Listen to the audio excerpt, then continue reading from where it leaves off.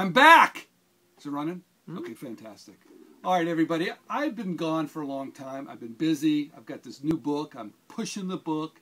I'm going to plug the book for the next couple of months until it comes out on the shelf. But before I before we go on to some of these reviews, because I still have so many to do, and I'm sorry it's taking me so long, so I'm going to get back at it. But I want to talk about one of my products, and it's called the Michael Jordan Wall Ball, and I'm going to show you right here. Here's, you see that? Got it?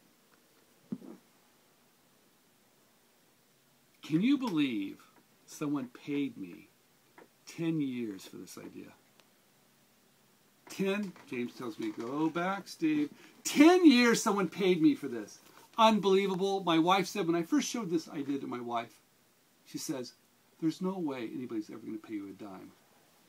But this idea, as simple as it looks, really solve some problems. Now, I went down, I love playing basketball, and I went down to the store, Toys R Us, and I looked at all the basketball games. And I noticed that they, all the basketball games had a square backboard.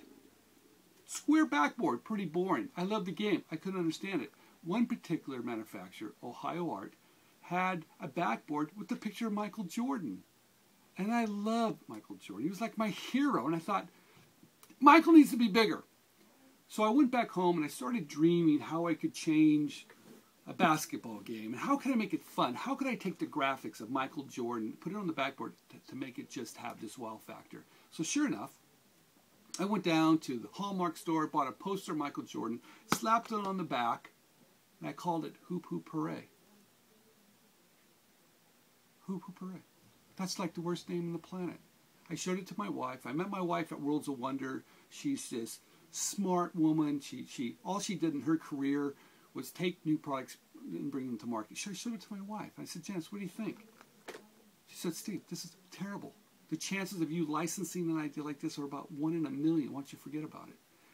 So I, the very next day, I sent it off to Ohio Art. They loved it. Three days later, I had a contract. And this is what I learned. Number one, go down to the marketplace. You be the expert. You find the opportunities you find that little bit of difference that you can you can make to a product to give it that wow. Number two, don't listen to anybody else. Don't have someone review it. The only people that really matter are the companies you're going to show it to. Now, if I had listened to my wife at the time now, we're, we're in Modesto. She's vice president of marketing for Gallo Winery, the highest ranking woman in the history of the company. If I had listened to her, I would have never have done anything. So trust your gut on some of the stuff, you guys. It's very, very important. Don't listen to anybody else. The only opinion that matters is that company you're going to show it to. So thank you. Here's one of mine. It's called the Michael Jordan Wall Ball. 10 years. Can you believe it? I got paid for every one. Thanks.